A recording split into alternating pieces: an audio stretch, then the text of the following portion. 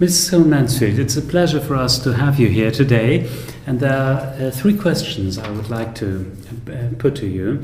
One is while challenging behaviors have been theorized in many ways as a direct manifestation of neurological dysfunction or as an expression of unmet needs. Um, we call that often the symptom symbol debate. Is it rather a symptom of a disease or a symbol of an unmet need? How much weight would you actually put on the unmet need idea? Do all challenging behaviors need really to be alleviated? Or are there some challenging behaviors you best leave alone? For example, some forms of vocalization or erotic sexual st stimulation or autoerotic stimulation, like playing with the dough or uh, with other things like that may it even cause harm to suppress or to prevent certain forms of challenging behavior because they are only a violation of social norms but actually express a desire of communication? Okay, these are really two questions. The first is uh, Is all challenging behavior an expression of unmet needs? So I don't know if they all are, but I do believe that a large proportion do express unmet needs, and therefore uh, finding out what this unmet need could be and how can we allow the need to be met is a very important uh, way to handle uh, challenging behaviors. Uh, of course, we don't know enough to say about all. Now, uh, I do think that in some cases, Uh, the behavior itself addresses the need. Like you say, it may be playing with dough, it gives some stimulation, it may be walking, pacing, and but I do think that the social norms are of some importance because it affects how relatives and other people relate to the person. So when we allow for the, that expression of the need, I think it is useful to accommodate it within an environment that uh, makes it socially acceptable. Mm-hmm. So, as I said, pacing, if it's done in an outdoor or indoor garden, is better than if it's done back and forth in a small corridor.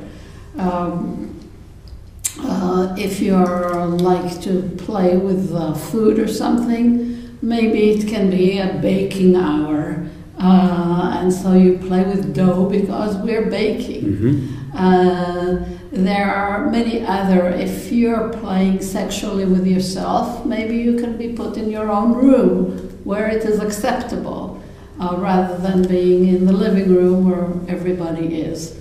Uh, so there there is a need to consider the social norms, but a lot of the behaviors can be accommodated uh, within the social norms. Of course, some behaviors do not address the need, they just express mm-hmm. it, like asking for help. Then we have to figure out what the unmet need is and address that uh, rather than say, okay, she likes to say help me and we'll let her say help me all day. Okay, well, thank you very much. One of the most challenging behaviors for informal carers is apathy or withdrawal. And there's some debate in gerontology around the idea of that being a sign of gerontotranscendence. Some research even describes apathy as a resource against overstimulation. Contrariwise, most intervention studies recommend activity, preferably in an individually tailored design. How legitimate is it to accept and even to respect withdrawal, and how necessary to keep up attention and contact even in spite of withdrawal? I think this is an important and difficult question. Uh, yes, there is now a trend to think of apathy as bad, and uh, I do not know whether that is justified or not. In my opinion, uh, challenging behaviors are very nice in that sometimes they give us a feeling, a sense of what is the feeling of the older person. So if the person is apathetic or not doing anything, but you see that they are tapping or that there are signs of discontent, then I would say yes, there's something that needs to be done uh, to engage this person. And indeed, most people can be engaged to at least some extent. Um, but if there is no sign of discontent, I'm not sure if that needs to be um, a target for intervention, uh, or maybe it only needs to be a target for intervention to the extent that engagement maintains some skills mm-hmm. so that you retain your ability to listen or to handle or uh, to move your fingers or do uh, that's uh, maintain dexterity abilities. Uh, so I think some level of engagement is probably desirable, but in a way, maybe we are forcing our assumptions of a productive society that the minister spoke about on people with dementia. Mm-hmm. And uh, maybe if we understand dementia as a decline that occurs at the end of life, we should respect that decline. And in general, uh, I think that philosophy of accepting that there is going to be decline and that we know the uh, stages of that decline and respecting where the person is is an important uh, part of dementia care. Therefore, when people cannot eat anymore, I think accepting that as part of the decline is important. Same with when people will not engage anymore, as long as they seem content. Mm-hmm. Okay, thank you. Um, which is, of course, a difficult issue with relation to food and food regulations and um, um, yeah. absolutely it's, it's ethically not, quite problematic this yeah. is uh, something that uh, many of the current researchers and regulators uh, do not see that way but uh, I think that uh, the philosophy of how we conceptualize dementia as an end of life disease mm-hmm. uh, is very important in care, and that some of the regulation may not be correct. Now, I, I don't want to pretend that I have all the answers and I know everything, but I think that I do think that we make assumptions about people with dementia based on other ages, other societal expectations that uh, may not be uh, correct. Okay, thank you. Most outcomes of intervention studies favor one to one contact. Um, there is a famous dictum of Barry Reisberg which basically says that the best intervention for people consists in the development of the personality of the carers, also the professional carers. This gives rise to the question is it reasonable and meaningful to provide carers with assessments, inventories of interventions, special communication trainings like validation, sensory stimulation, all that? Or is it rather more helpful to develop skills like attentiveness, mindfulness, resilience, cognitive empathy, self efficacy? Yeah, that is, contact and reflection related skills. So, do we rather train carers in interventions? or do we rather train them in developing their empathetic skills?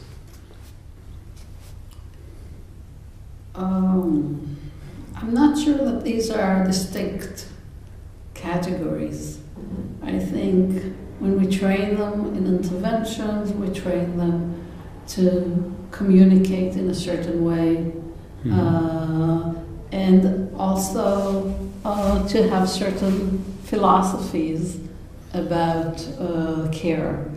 So um, I think acceptance, attentiveness, uh, caring, empathy are all skills we want to help people attain, uh, as well as being self reflective.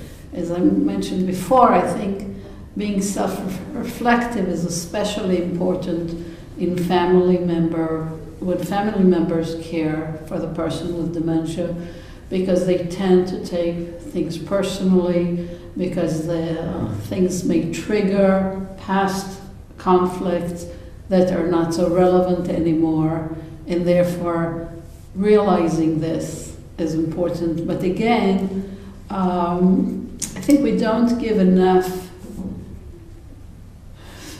uh, weight to carers having a philosophy about the treatment.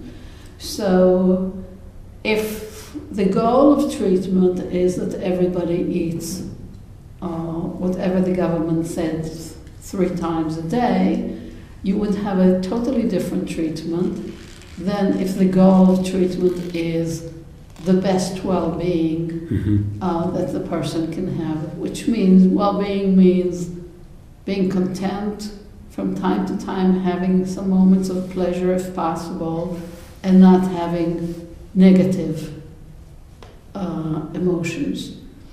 Um, so um, I think as a society we have to decide what is our philosophy Mhm. about this disease. What are the goals? Is it is the goal to keep the people alive as long as possible? Is it to make them as content as possible? And that will dictate what we do. Yeah, all right. May I have a last question? So, Um, in the famous book of Tom Kitwood about dementia, he says that a central uh, psychological need is love. Now, that is, of course, a problematic concept, not a scientific concept. But he says what basically people need and want is love. Could you sort of make a short statement to that uh, idea of Kitwood's? At first, I, I absolutely agree, and I think when I speak about loneliness, uh, that's a sense of belonging, of love. Uh, I think those are extremely important. Uh, I think that people uh, came to that activity uh, that I've just seen on their own because they were looking for that connectedness Yeah. for some, uh, that support. I think the reason that people connect with dolls is because they want to love and be loved. hmm Uh, I think that those staff who are able to convey that kind of warmth, and I, I do think good staff can, staff members can convey love to residents and get love from Mhm. residents. hmm And that's a wonderful thing when it happens. And family members, when things are, when caring is successful, they can forget the issues of success and achieving this goal or that goal, and they can focus just on the love part. hmm And and once again the philosophy changes and you realize this is what you want to get of those you want for those years to have a good feeling about them. It doesn't matter if they're somewhat longer, somewhat shorter, if you got dressed at this time or that time, if the house is cleaner or less clean. If that's your goal, um, then that changes the whole atmosphere to my mind, because that's my philosophy, that's a good thing. hmm But of course, people have, people individually and as a society have to decide what those goals are. Okay, thank you very much Thank for you. that very interview.